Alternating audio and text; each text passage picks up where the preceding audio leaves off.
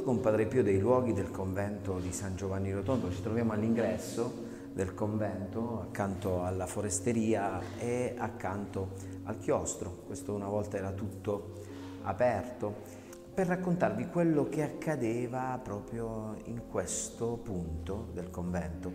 Eh, ce lo racconta Maria Vin- Vinosca che eh, ha scritto questo libro quando Padre Pio era in vita e lei eh, racconta quello che accadeva eh, proprio qui. Beh, qui eh, c'erano solo delle persone un po' tra virgolette eh, raccomandate da qualcuno, da qualche frate. Sul sagrato della chiesa c'era Maria, Maria Pair che l'attendeva e quindi la portava eh, proprio qui.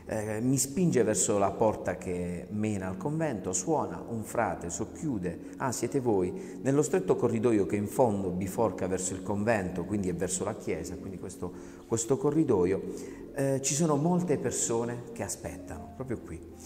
Riconosco mm, qualcuno che avevo già visto all'interno della chiesa il giorno prima. Il frate portinaio passa e ripassa, con un'aria severa, dice, poi si rasserena.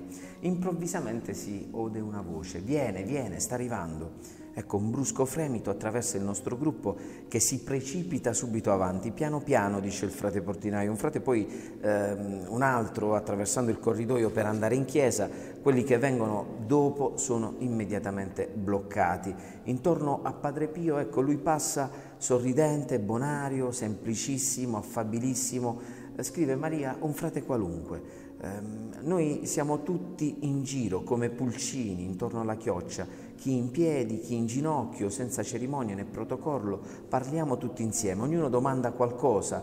Eh, Padre Pio si difende quando chiedono delle grazie, domandate a Dio, non a me. Poi accarezza un bambino rivolgendosi eh, a, ai genitori dicendo avete visto, avevo ragione.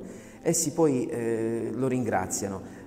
Il suo aspetto non ha nulla di un santo romantico, con la barba leggermente brizzolata, la carnagione fresca con qualche ruga, il comportamento eretto, i movimenti rapidi, non dimostra certo l'età che ha. Lui ha 68 anni.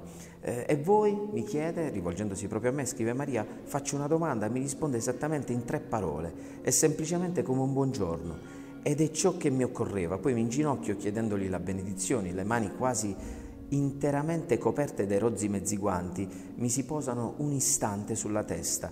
Provo una strana sensazione, eh, sembrava una scarica, una scarica elettrica. Ho saputo poi che eh, questa impressione di scossa, di questo fluido misterioso, è una cosa comune, allorché Padre Pio, per benedire, eh, posa appunto le mani sulla testa. Tutto questo incontro clandestino, eh sì, perché mi sento una privilegiata, non è durato che alcuni brevi minuti e già eh, il padre poi prosegue il suo cammino con un passo esitante degli infermi.